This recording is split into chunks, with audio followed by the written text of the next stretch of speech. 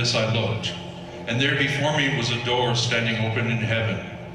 And the voice I had first heard speaking to me like a trumpet said, Come up here, and I will show you what must take place after this. At once I was in the Spirit, and there before me was a throne in heaven with someone sitting on it. And the one who sat there had the appearance of jasper and ruby. A rainbow that shone like an emerald encircled the throne. Surrounding the throne were 24 other thrones, and seating on them were 24 elders.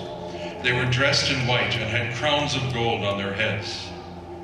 From the throne came flashes of lightning, rumblings, and peals of thunder. In front of the throne, seven lamps were blazing. These are the seven spirits of God. Also in front of the throne, there was what looked like a sea of glass, clear as crystal. In the center around the throne were four living creatures, and they were covered in eyes in front and in back. The first living creature was like a lion, the second like an ox, the third had a face like a man, the fourth was like a flying eagle.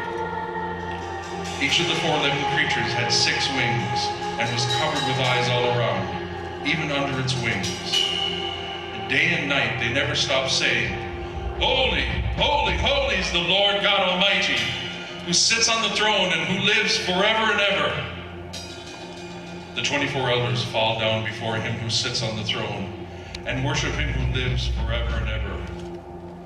They lay their crowns before the throne and say, You are worthy, O Lord our God, to receive glory and honor and power. For you created all things, and by your will they were created and have their being.